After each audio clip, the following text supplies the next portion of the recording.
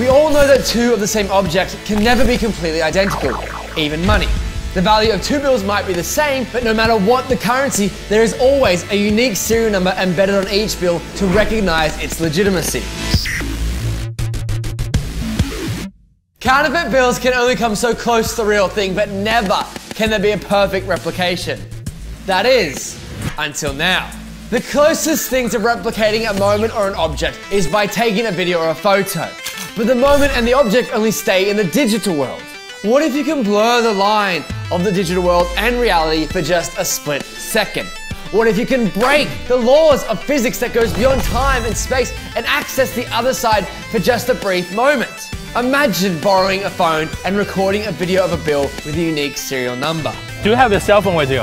Yeah. I promise you I'm not gonna take your cell phone and run away. You know every bill they have one serial number. Just hold your hand out, it's okay. Can you see the bill Yeah. inside the phone? Yeah. You know every bill they have a serial number, right? There's Yeah. no other bills have same Yeah. serial number. There's only one in the world, 338B, right? Yeah.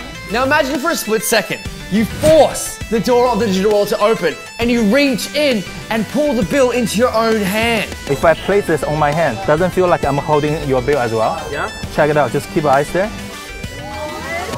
Wait, wait, wait, wait, wait, wait.